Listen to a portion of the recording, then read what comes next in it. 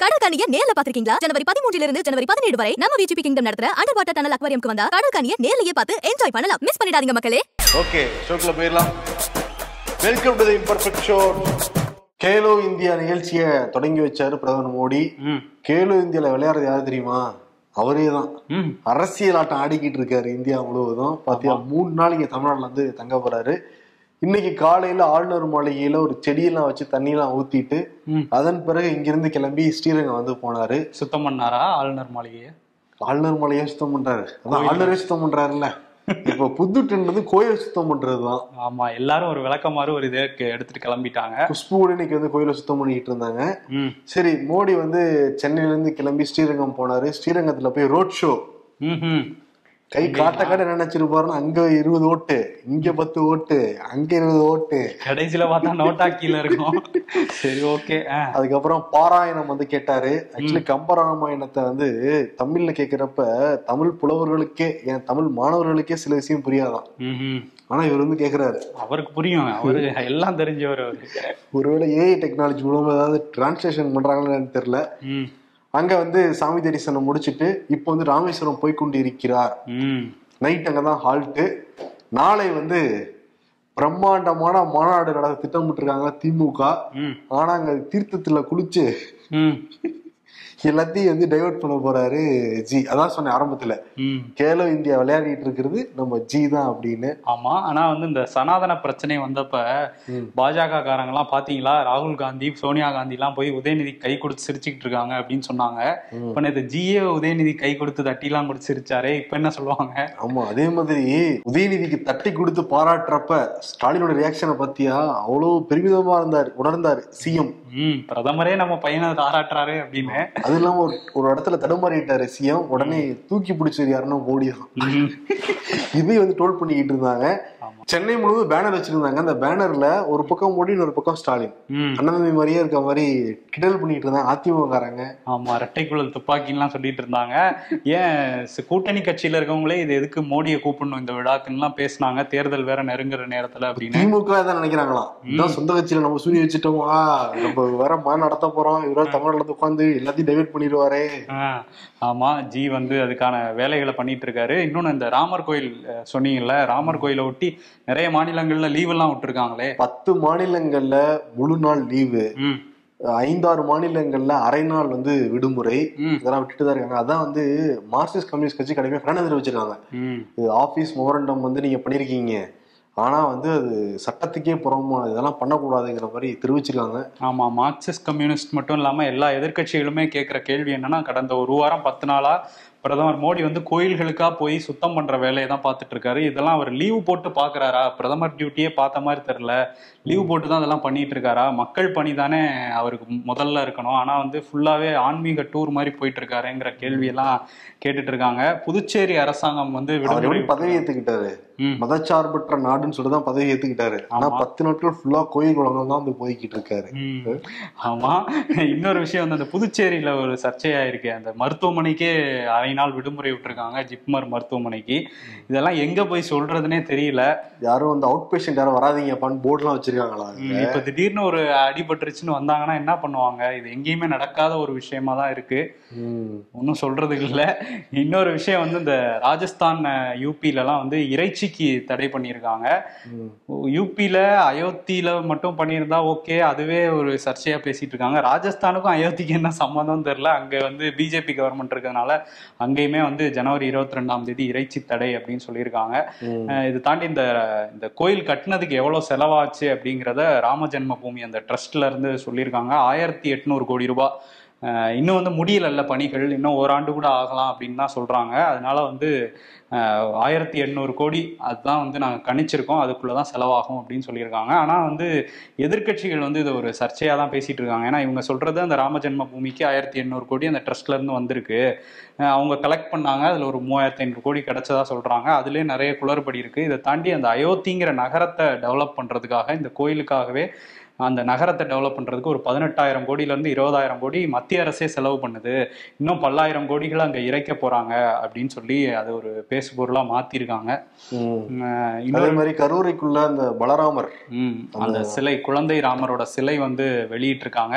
நேற்று இன்டர்நெட்ல அந்த புகைப்படங்கள் வந்து மிகப்பெரிய வைரல். இங்க தமிழ்நாட்டுல அந்த திருத்தமான முருகன் சிலை மாதிரியே இதுவும் இருக்கு அப்படின்லாம் பேசிட்டு இருந்தாங்க.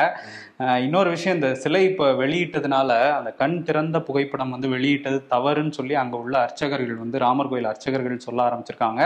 ராம ஜென்மபூமி அந்த ட்ரஸ்ட்டுமே வந்து இப்போ என்ன பண்ணியிருக்காங்கன்னா இதை யார் லீக் பண்ணது அந்த கல்பிரிட் யாருன்னு கண்டுபிடிக்கிறதுக்காக வந்து ஒரு குழுவெல்லாம் அமைச்சு இதை கண்டுபிடிங்கன்னு சொல்லியிருக்காங்க.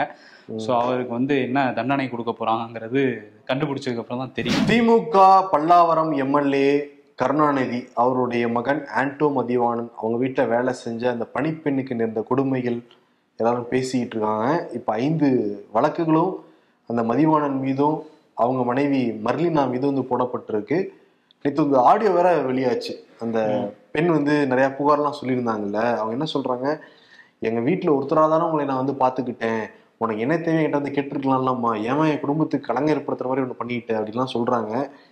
இப்படிலாம் பேசுறாங்க. ஆனால் அந்த பெண் வந்து அந்த காட்டுற காட்சிகள்லாம் பார்க்குறப்ப கழுத்துல கையில தலையில கால்லன்னு எல்லா இடங்களையும் அடிபட்டு இருக்கு ம். பின்ன அவங்களும் அவங்களும் அடிச்சுப்பாங்களா?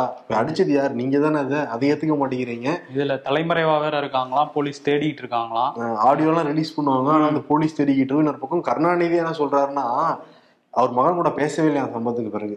இதெல்லாம் அவர் தான் என்ன சொல்றாரு? அரசாங்கம் என்ன நடவடிக்கை எடுக்கலாம். நான் தலையிட மாட்டேன்லாம் சொல்றாரு. ஆனா மகன் கிட்ட இவர் பேசவே கிடையாது அந்த சம்பவத்துக்கு பிறகு.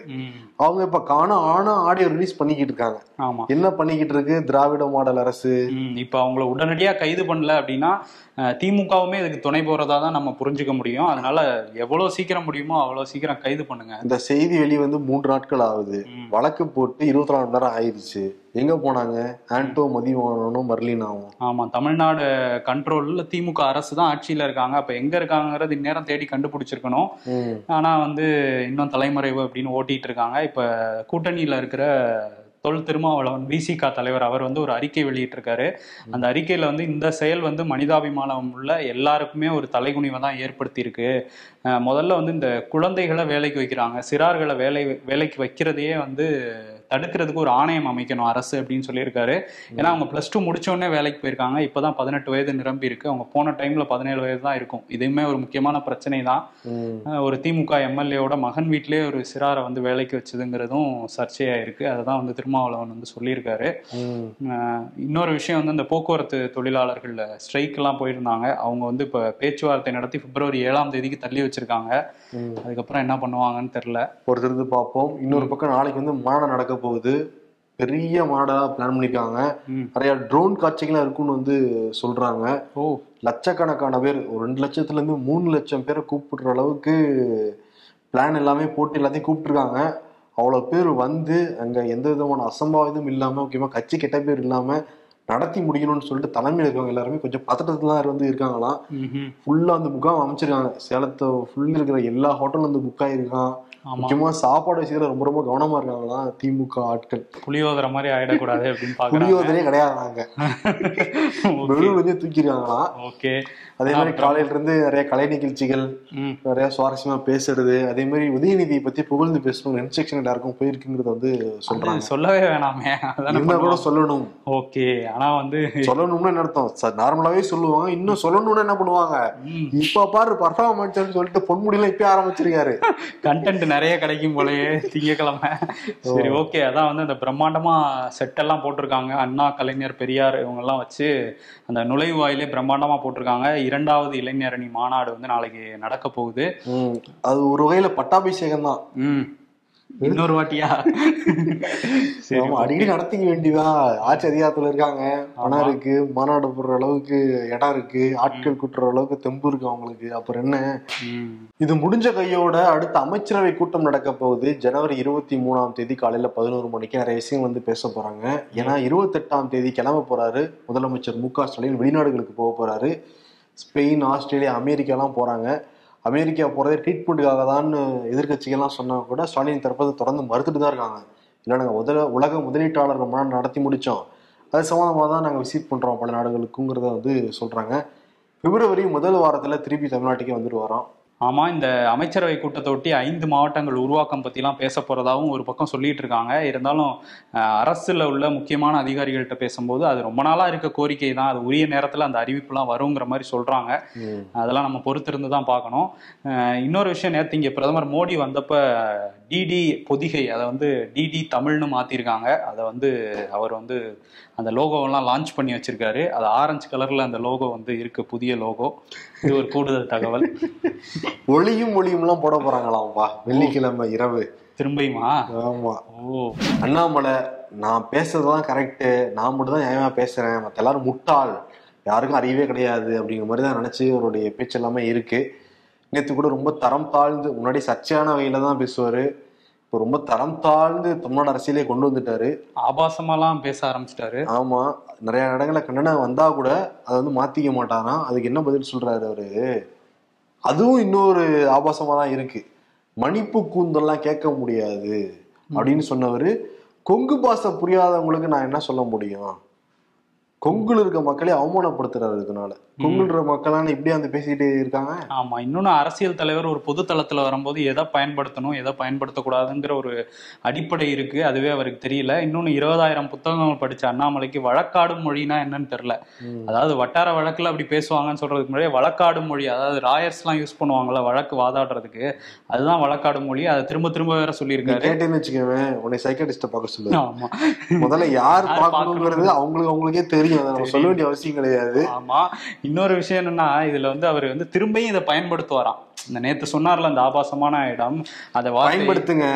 தேர்தல் இப்ப வரப்போகுது. நாடாளுமன்ற தேர்தலுக்கு நீங்க வந்து வாக்கு சேரிக்கை தான் போறீங்க. எல்லா மேடையிலும் இதை பயன்படுத்துங்க. பயன்படுத்துங்க. பெண்கள் இருப்பாங்க ஆப்போசிட்ல எல்லா குழந்தைகள் இருப்பாங்க பெரியவங்க இருப்பாங்க. எல்லாரும் கூட நீங்க பயன்படுத்துங்க. தில் இருக்கிறவங்களுக்கு பயன்படுத்தி காட்டுங்க. ஆமா. இப்போ இந்த மன்னிப்பு கூந்தலுக்கு ஒரு விளக்கம் சொல்ல வேற வருவாரு. இதை நான் அப்படி சொன்னேன் இப்படிதான் எங்க ஊர்ல வந்து இது பண்ணாங்கன்ட்டு ஏதாவது சொல்லி உருட்டுவாரு. சரி ஓகே. அவரை பத்தி பேசி டைம் வேஸ்ட் பண்ண வேணாம். முன்னாள் டிஜிபி நடராஜ் இவர் வந்து முதல்வரை பத்தி தப்பு தப்பா அஹ், அவதூறு பரப்புறாருன்னு சொல்லி போலீஸ் வந்து அவர் மேல வழக்கு போட்டிருந்தாங்க. இவர் அதிமுகவை சேர்ந்தவர். இவர் வந்து தி கோர்ட்டுக்கு போயிருந்தார். எனக்கு வந்து திமுக வந்து அவதூறு வழக்கு போடுறாங்க. அதெல்லாம் ஒன்றும் கிடையாது. பொய் பரப்புறாங்க. அவங்க தான் அப்படின்னு சொல்லிட்டு இந்த வழக்கெல்லாம் ரத்து பண்ணணும்னு சொல்லி உயர்நீதிமன்றத்துக்கு போயிருந்தாரு. அந்த வழக்கு வந்து ஆனந்த் வெங்கடேஷ் நீதிபதி அவர் முன்னிலையில வந்துச்சு. இந்த வழக்கு நான் வந்து தனிப்பட்ட காரணங்களுக்காக நான் விசாரிக்கல அப்படின்னு சொல்லி விலகி இருக்காரு எல்லாம் அவர் எடுக்கிறதா முடியும் இல்ல. ஓகே அதிகாரம் நீதிபதிகளுக்கு. அந்த உரிமை இருக்கு. உரிமை இருக்கு அந்த அதிகாரமும் இருக்கு அதனால அவங்க இது பண்ணுவாங்க. சரி இன்னொன்னு வந்து பில்கிஸ் பானு வழக்கு. பதினோரு குற்றவாளிகளை இருபத்தோராம் தேதிக்குள்ளார திருப்பி சரணடைன்னு உத்தரவு போட்டிருந்தாங்க உச்சநீதிமன்றம். ஆனா கூட ஒரு நாலஞ்சு பேர் வந்து இல்லைங்க எங்களால வர முடியாதுங்க. இன்னொரு நாலஞ்சு வாரம் கால அவசானம் கேட்டிருந்தாங்க. அதெல்லாம் மறுத்திருக்கு இப்ப உச்சநீதிமன்றம் எல்லாரும் இருபத்தோராம் தேதி நாளைக்கு. நாளைக்குள்ள வந்து சரணடையணும்னு சொல்லியிருக்காங்க. இதுல குஜராத் அரசே சொன்னாங்க. அதுல இப்போ ஒன்பது பேர் அப்சண்ட் ஆயிட்டாங்க அப்படின்னு. இப்போ நாளைக்கு வந்தாதான் தெரியும். எத்தனை பேர் சரண்டர் ஆகுறாங்க எத்தனை பேர் அப்சண்ட் ஆகுறாங்க அப்படின்னு. ஆமா அந்த அரக்கர்கள்லாம் உடனே பிடிச்சி சிறையில அடைக்கணும். இப்படி சொல்லியிருக்காங்க. விஸ்வ இந்து பரிஷத் தான் இந்த முன்னாடி நடத்திட்டு இருக்காங்க. ராமர் கோயில் ஃபங்க்ஷனா அவங்க தான் இவங்களை வரவேற்றாங்க வேற. ஒருவேளை இந்த இருபத்தி ரெண்டாம் தேதி முடிச்சுட்டு கிளம்பலாம் என்னன்னு நினைச்சாங்களா என்னன்னு தெரியல அவகாசம்லாம் கேட்டிருந்தாங்க. ஆனா கோர்ட் அதுக்கு முடியாது அப்படின்னு ஸ்ட்ரிக்டா சொல்லிட்டாங்க. ஆந்திர மாநில காங்கிரஸ் தலைவர் ஒய் எஸ் ஷர்மிளா இப்பதான் கட்சியில சேர்ந்தாங்க. உடனே காங்கிரஸ் மாநில தலைவர் ஆயிட்டாங்க. அதே மாதிரி அங்க ஆந்திர முதல்வரா இருக்காரு அவங்களோட அண்ணன் ஜெகன்மோகன் ரெட்டி. இப்போ ஒய் எஸ் ஷர்மிளாவோட மகனுக்கோட என்கேஜ்மெண்ட் வந்து நடந்திருக்கு. அந்த விழாக்கு வந்து கலந்துகிட்டு இருக்காரு. அரசியல்ல ரெண்டு பேருக்கும் அந்த கருத்து மோதல்கள் இருந்தா கூட குடும்ப விழாங்கிறதுனால அவரும் அவரோட மனைவி பாரதி ரெட்டியும் வந்து கலந்துக்கிட்டாங்க ஆனா ஐ டு ஐட் கான்டாக்ட்ல எதுவுமே பெருசா பேசிக்கலாம் ஒரு ரெண்டு மூணு வார்த்தைகள் மட்டும் ஷர்மிளாட்ட பேசிட்டு அவங்க அம்மாவை தான் ஹக் பண்ணி இதெல்லாம் பண்ணிட்டு இருந்தாரு. அதுக்கப்புறம் வந்து அந்த விழால கலந்து மணமகள் மணமகனுக்கு வந்து வாழ்த்து தெரிவிச்சுட்டு கிளம்பியிருக்காரு. என்ன இருந்தாலும் தாய் மாமன் அல்லவா? ஆமா. சீரெல்லாம் அனுப்புவாருன்னு நினைக்கிறேன் பின்னாடி. தாய் மாமனுக்கு இல்லாத உரிமையா என்ன தங்கச்சியோட சண்டைனாலும் நான் மாப்பிள்ளை விட்டு கொடுக்க மாட்டாங்கல்ல மாமா தாய் மாமாக்கள்? ஆமா அதனால வந்து வந்துட்டு போயிருக்காரு. இன்னொன்னு வந்து ஆந்திரால இன்னையில இருந்து அந்த சாதிவாரி கணக்கெடுப்பையுமே நாங்க தொடங்குறோம் அப்படிங்கறத ஜெகன்மோகன் ரெட்டி சொல்லியிருக்காரு. இங்க எப்ப தொடங்குவாங்கங்கிறதான் தெரியல. நான் சொல்லிட்டே இருக்காங்க ஆனா ஒன்றும் பண்ணல. இன்னொரு விஷயம் வந்து மணிப்பூர். அது வந்து இன்னும் கலவரம் அடங்கலை அப்படிங்கிறது தொடர்ச்சியாக நம்ம பார்த்துட்டு இருக்கோம். இந்த நாற்பத்தெட்டு மணி நேரத்தில் ஏழு பேர் வந்து கொல்லப்பட்டிருக்காங்க. அதில் ரெண்டு பேர் வந்து காவல் அதிகாரிகள். இன்னும் கலவரம் வந்து இந்த ரெண்டு இடங்கள்ல மோரே அப்புறம் பிஷ்ணுபூர் இந்த ரெண்டு இடங்கள்ல வெடிச்ச இந்த கலவரத்தால இன்னும் பரவுற அபாயம் தான் ஏற்பட்டிருக்கு. ஆனால் கையாலாகாத அங்கே பாஜக அரசு தான் இருக்கு. அது ஒண்ணுமே பண்ணலை இதுவரையும். ஏன் பண்ணலைன்னா அங்க வந்து நாடாளுமன்ற சீட்டு ரெண்டே ரெண்டு தான் இருக்கு. ம் அந்த ரெண்டு இதுக்கு நம்ம பிடிச்சிக்கிட்டு அதெல்லாம் அப்படி பார்த்துக்கலாம். எங்கெங்கெல்லாம் நிறையா சீட் இருக்கோ அதை மட்டும் தான் ஃபோக்கஸ் பண்ணுறாங்க இவங்க.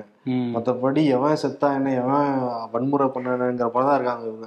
இவங்க அதெல்லாம் கண்டுப்பாங்களா? இப்பதான் ஃபுல்லா ராமர் கோயில் பட்டாபிஷேகத்துல ஃபோக்கஸ் வச்சிருக்காங்க. ம், அது மட்டும் இல்லாமல் இப்போ மிசோரம் முதல்வர் இருக்கார்ல லால்டு ஹோமா இப்போதான் கொஞ்ச நாள் ஆச்சு அவர் பதவியேற்று அவர் என்ன சொல்லியிருக்காருன்னா இது இது இப்போதைக்கு அடங்குற மாதிரி இல்லை ரொம்ப நீண்ட காலமாக இங்கே வயலன்ஸ் இருக்கு. நீங்கள் வந்து உடனடியாக அங்கே குடியரசுத் தலைவர் ஆட்சி தான் அமலுக்கு அமல்படுத்தணும் அப்படிங்கிறத திரும்ப வலியுறுத்தியிருக்காரு அந்த பக்கத்து மாநிலமான மிசோரமோட முதல்வர். ஓகே. அதே மாதிரி இன்னொரு சர்ச்சை இருக்கு. இந்தியாவுக்கும் மாலத்தீவுக்கும் சர்ச்சைகள் இருக்கிறது எல்லாருக்குமே தெரியும். மாலத்தீவு அதிபர் முகமது மூயிஸ் வந்து சைனாக்கு போயிருந்தாரு. ஜி ஜின்பிங்க பார்த்தாரு.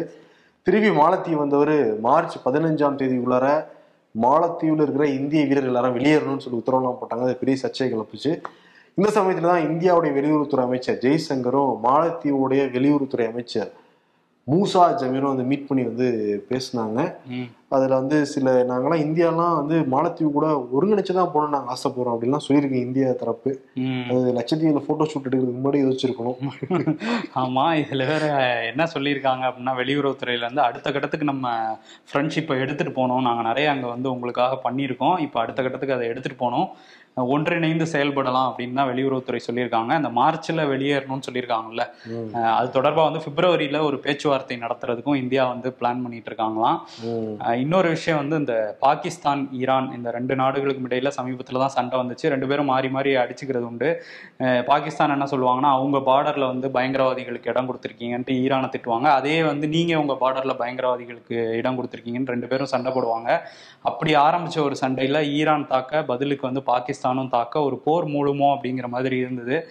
அமெரிக்கா ஐநாலாம் சைனா ஐநா எல்லாரும் சேர்ந்து வந்து இதெல்லாம் வேணாம் கொஞ்சம் நிறுத்திக்கங்க அப்படின்னு சொல்லி சொன்னாங்க. இப்போ வந்து ரெண்டு நாட்டு வெளியுறவுத்துறை அமைச்சர்களும் பேசி ஓகே நாங்கள் நிறுத்திக்கிறோம். வேணாம் அந்த டென்ஷன் அங்கே உள்ள பதற்றத்தை தணிச்சுக்கிறோம்னு சொல்லிட்டு நிறுத்தியிருக்காங்க அது நல்ல விஷயம் தான். இன்னொரு பக்கம் ஹவுதி அந்த ஏமன்ல இருக்க ஹவுதி அமைப்பு மீது அமெரிக்கா தொடர்ந்து தாக்குதல் நடத்திட்டு இருக்காங்க. நாலாவது சுற்று தாக்குதலும் நடத்தி முடிச்சிருக்காங்களாம். இது வந்து ஈரான் ஏமனுடைய நாடுகள் கண்ணெல்லாம் தெரிவிச்சுக்கிட்டு இருக்காங்க. ஏன்னா ஈரான் வந்து வெளிப்படையாவே ஹவுதி வந்து ஆதரிக்கிறாங்க. ம். அது இன்னொரு சர்ச்சை தான் அந்த சைடு வந்து போய்கிட்டு இருக்கு. எல்லா போர்களும் முடிவுக்கு வரணும் இந்த வருஷமாவது.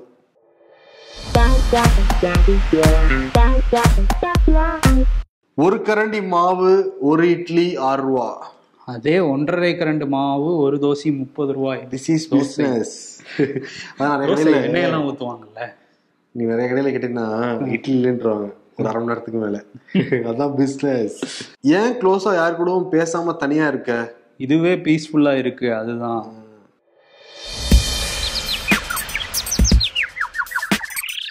பதவி வரும்போது போகாத நாடு இல்ல. தேர்தல் வரும்போது சுற்றாத கோவில் இல்லை. அதிமுக பொதுச் செயலாளர் டிடிவி தினகரன் காளைகள் வெற்றி. ரெண்டாயிரத்தி இருபத்தி நாலில் நடக்கும் மக்களவை தேர்தலுக்கும் ரெண்டாயிரத்தி இருபத்தி ஆறு சட்டமன்ற தேர்தலுக்கும் இந்த வெற்றி ஒரு முன்னோட்டம்.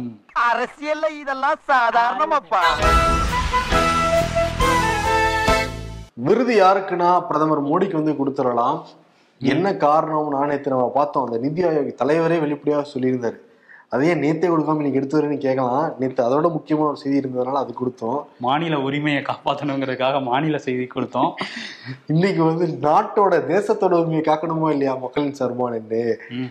நிதி ஆயோக் தலைவர் வெளிப்படையாவே சொல்றாரு. இவர் வந்து மாநிலங்களுக்கான இந்த நிதி பகிர்வை கட் பண்ணுங்க. கொஞ்சம் குறைச்சு கொடுங்க. குறைக்க முடியாதுன்னு சொன்னனால நாற்பத்தெட்டு மணி நேரத்துல பட்ஜெட் போடுறாங்க. நூத்தி முப்பது கோடி மக்களுக்கான பட்ஜெட்டை நாற்பத்தெட்டு மணி நேரத்துல போட்டிருக்கு இந்த அரசு. தலைகீழா மாத்தி அதெல்லாம் இன்னும் ஆல்டர்லாம் பண்ணியிருக்காங்க. இதெல்லாம் நம்ம லிஸ்ட்லயே கிடையாது அப்படிங்கிற மாதிரி தான் இருக்கு. இன்னொன்னு அவரு அவருமே வந்து தமிழ்நாட்டுக்கு வருவாரு மூணாள் தங்க வரும்னு நம்மளும் எதிர்பார்க்கவே கிடையாது. மெயின் அதுக்கு தான். இதெல்லாம் லிஸ்ட்லயே இல்லைன்னு திமுக அதிர்ச்சி ஆயிருப்பாங்க. இதெல்லாம் லிஸ்ட் ஜி பெரிய லிஸ்ட் வச்சிருக்காரு. நீங்க இருபத்தொன்னு. இங்க இருப்பீங்கன்னு தெரிஞ்சிருந்தா நாங்க வேற ஒரு தேதியில வச்சிருப்போமே அத.